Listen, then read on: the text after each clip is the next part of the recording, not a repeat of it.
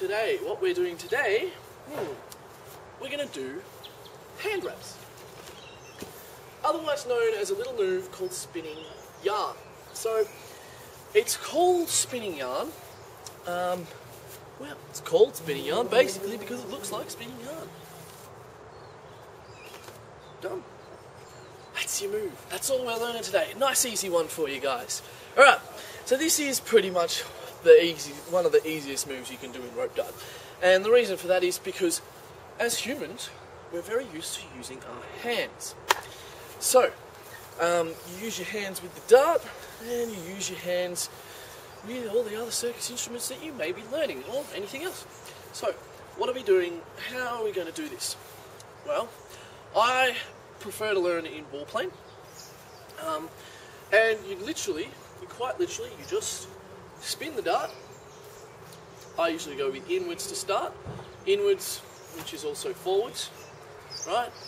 Um, but wall plane is easier to learn. It's basically the only place you can do it. You can do it anywhere you want, but it's the main place you will do it. So if you're spinning inwards, you spin over the top, let some length out, right? So let's do that again. Spin over the top and let some length out. As you let that length out, put your hand in the way, right? This automatically halved the length of my dart. Look, it's way shorter, right? Now, you can do as many laps as you like. It just depends on how close your hands are together. Uh, know, I can keep wrapping and wrapping and wrapping and wrapping until my hands are completely wrapped. The only problem with this is that it's difficult to release. Not a very good shot.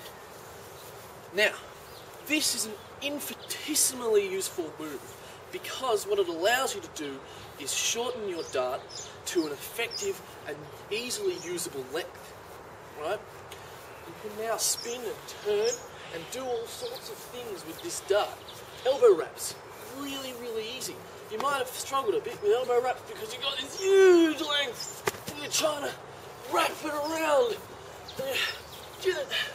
Nah, I mean, previous elbow wraps tutorial, I didn't tell you to shorten, uh, you know, I did tell you to shorten it, but I didn't tell you to told you to shorten like this, rather than shortening like this. Now, that's fine, you can shorten however you want, right? But this is a very effective and easy way to shorten, right? Once you're done, if you want, you can just drop the loop. That loop, then you can shoot out, right? I just spun yarn again. So you don't have to spin yarn as you go over the top. Right? This is the spinning yarn move, but you don't have to hand wrap as you go over the top with pendulum hand wraps. Same thing.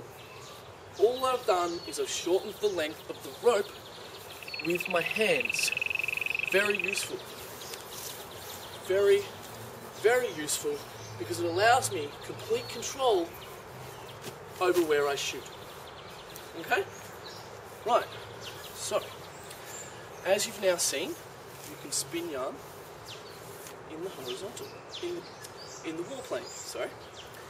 Now, what I want you to be, also be able to do is to spin yarn in the wall plane in outward spin, or reverse, okay?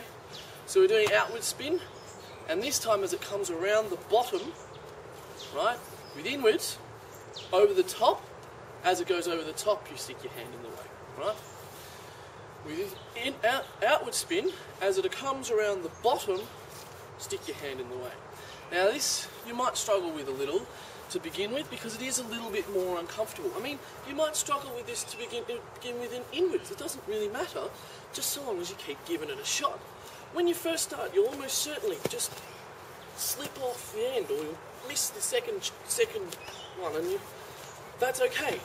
It doesn't matter, just so long as you keep trying. Now, that was the inwards. This was the outwards. Now just step back and show that so you get the whole circle in. Okay? So we've got inward spin, right? Really big, big, big dart. Okay? Don't need to do that. Short spin as it comes out to about horizontal. Let it out, wrap, catch. Okay? You're just sticking your hands in the middle of the circle. This in turn makes the circle shorter. Okay? With reverse. Again, as it comes out to the same side though, as it comes out to the horizontal, let some out. Now this is more difficult because you've got to let it out as it passes underneath. Right? You want to let out from, from starting from there, right? But most of it you want to let out as it passes here. So if I'm up, okay, so shorten out. See that? It's almost a shot. If you want to make it into a shot, you can you can shoot and wrap. It's a good way to get your get your dart back into you quite quickly. If you're finding that you can't shoot and pull back because you've used all your energy to move and have that shot, right? You can move and have that shot. Hand wraps. Essentially the most useful. The most useful for controlling your dart. Not the most useful altogether, because there is no most useful altogether. The thing you've got to learn is that everything is useful in your dart. You've just got to find how to use it. So, hopefully that gives you an idea of how to hand wrap and how to spin yarn, and essentially the same thing, but you can hand wrap you can hand wrap in other ways than just the spinning yarn method, as I've showed with pendulum. Okay, so there's more wraps to come, and uh, just keep watching, and hopefully you'll be a uh, master at this stuff in no time. So make sure to check out my website www.poidojo.com. There is more at the website than just this. If you want to learn some poi, there's also that. Um, also, I'm writing blog entries and everything that you could imagine.